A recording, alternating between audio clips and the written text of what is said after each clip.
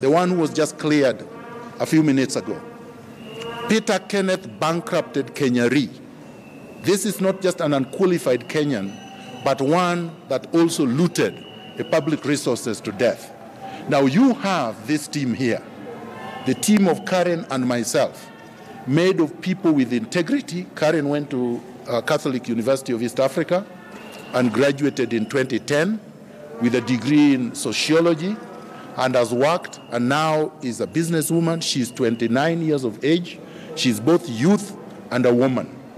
And we are going to transform the city using our manifesto, which is based, number one, on the elimination of corruption at City Hall. Number two, injecting the culture of integrity in public service.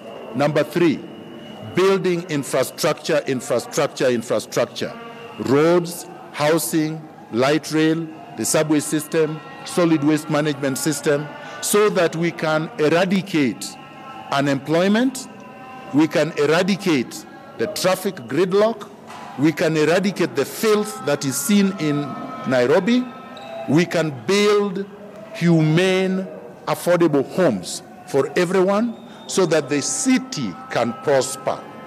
So I will, at this moment, give my running mate just a short opportunity to be able to say something, and then you can ask your questions.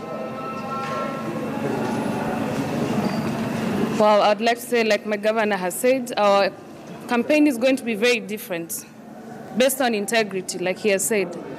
So for me, I am calling now to all the women and all the youth. I am here and I am telling you it is time we make a change. It is time Nairobi became something else for the better.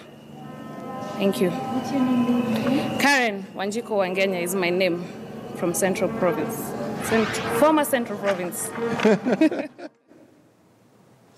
Okay, so Miguna Miguna has just been cleared by the Independent Electoral and Boundaries Commission. and according to him, all his opponents have issues, integrity issues, and they shouldn't uh, be